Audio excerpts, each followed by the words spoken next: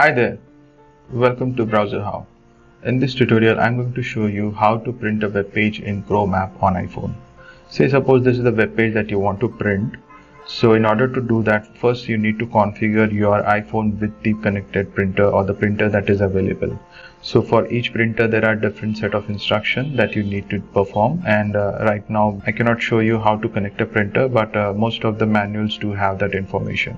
So once your iPhone is connected to a printer, here are the steps that you can take. Open the web page that you want to uh, print and in the address bar you would be able to see the share icon. Just tap on it and uh, if you scroll a bit, you would be able to see this print command and uh, select that print command and it will display this uh, print preview panel and within the print preview panel at the top you would be able to see printer and select it's currently set to no printer selected.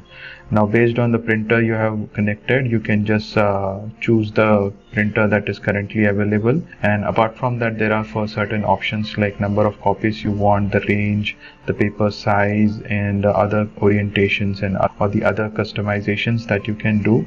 Once it is done you can just go and select this print command which is disabled for me but if the printer is selected you would be able to see this print command active uh, and uh, on selecting that print command it will uh, give a hard copy print of the web page that you are trying to print.